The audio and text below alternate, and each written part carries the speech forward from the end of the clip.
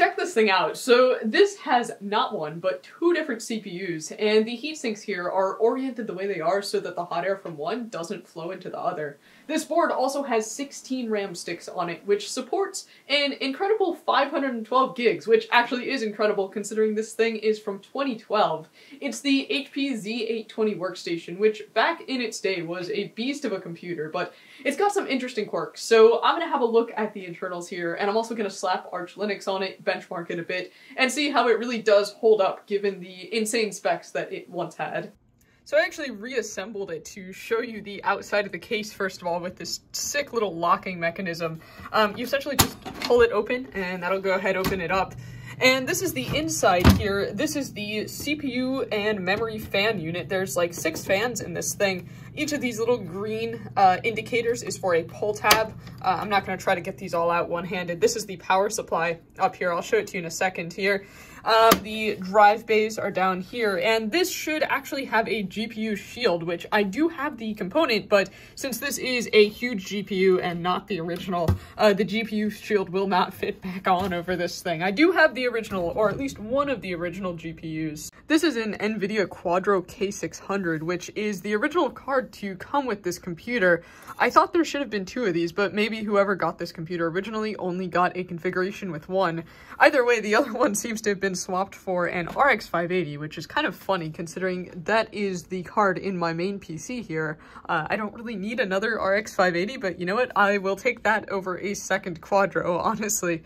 Now, interestingly enough, these RAM sticks, some of them are 4 gigs and some of them are 8 gigs, uh, and we've got a total of 96 gigs in this configuration, which I guess, given that it can support 512, is relatively modest, but um, still a whopping 96 gigs of DDR3 here. Now, these heat sinks are actually staggered. If I hold my finger there, you can see when the CPU fan pulls air out here, the CPU fan is going to sit right about here. When it pulls air out, it's not going to pull it into this other heat sink. The other CPU fan sits here, and then there's four memory fans that sit on top of this memory.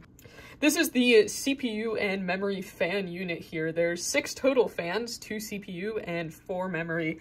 It's actually just got a little pin connector at the top here that plugs right on in there, if you can see at the top. And it just sticks right in and out, super easy.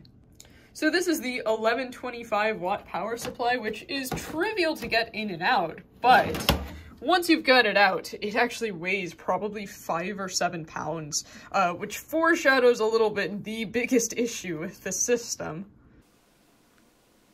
Alright, it is time.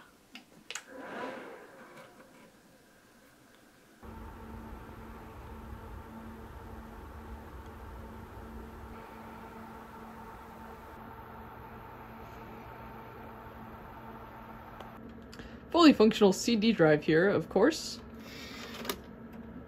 Alright, we finally get our processor information here. We've got two of these Intel Xeon CPUs, E5 2620s at 2 gigahertz each. I did actually go into the BIOS real quick to change the usual settings so I can go ahead and boot into the Arch utility. To actually get into the Arch install medium here, I had to go through and specifically select to run it as a UEFI application because I guess it wasn't doing that by default Probably missed a BIOS setting somewhere, but supposedly we're booting in now. It is time to install Arch, and as such, I dug out my highest quality keyboard.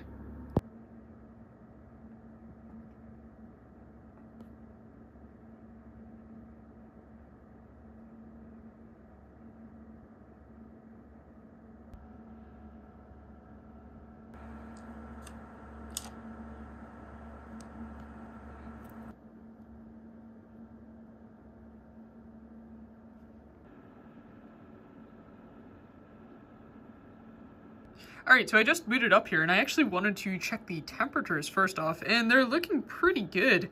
Uh, given that fan unit, I guess I'm not really surprised here, but obviously it's just idling right now, so I'm going to try some stress testing and see what we're looking at in terms of temperatures and performance.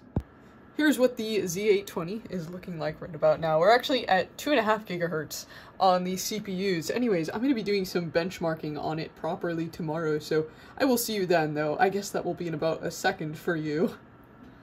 Hello, it is tomorrow. We are benchmarking, and I wanted to talk a little bit about what I aim to understand with the results of these benchmarking tests here And the biggest overarching question to me is, is it actually worth buying and running this system in 2025? Now, to be clear, I got this system for free, so it's worth it to me either way, but since the systems generally seem to go for a few hundred bucks on eBay US, um, I guess like 200 to $500 depending on the configuration was the price point I was seeing.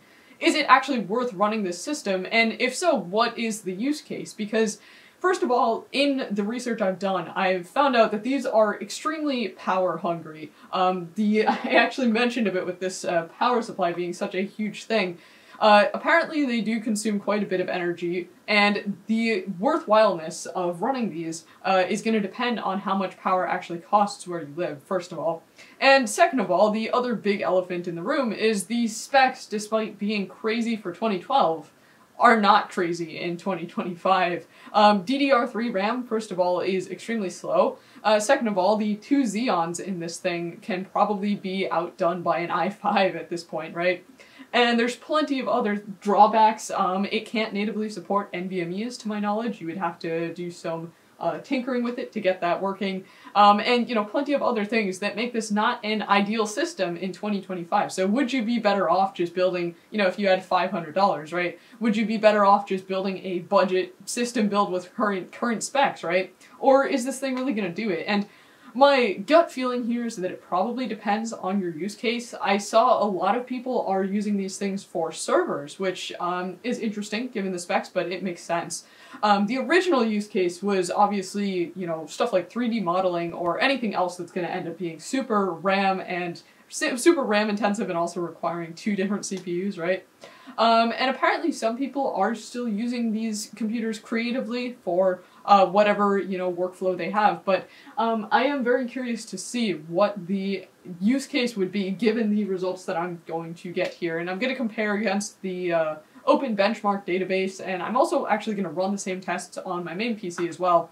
So you can actually pretty clearly see here which are the 4 gig sticks and which are the 8 gig sticks. If you look, these two are uh, 8 gig, and then the 4 gigs are the pure green ones here. Alright, hello. It's like 8.30. Uh, this thing has been benchmarking all day long. I've run mainly CPU tests, uh, some RAM-related tests. I will put the numbers for everything in the description. I'll also put percentiles as well, and the database so that you can actually compare and understand what the results mean. If you are curious about this particular system, um, in terms of what I intend to do with it, uh, I don't think it would really make sense to run it as a server PC.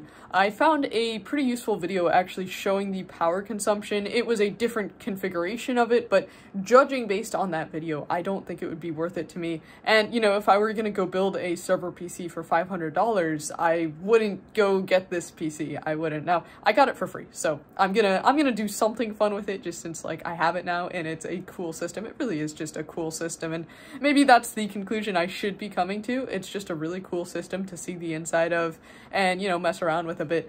I was wondering, though, if anybody has some suggestions for really weird Linux distros to put on it, like something that I've never heard of before. Um, I've heard of Hannah Montana Linux, so anything weirder than that, uh, let me know, especially something like from the 2012 era, or if there's like weird desktop environments or something, uh, just something that's like gonna fit the weirdness level of this system.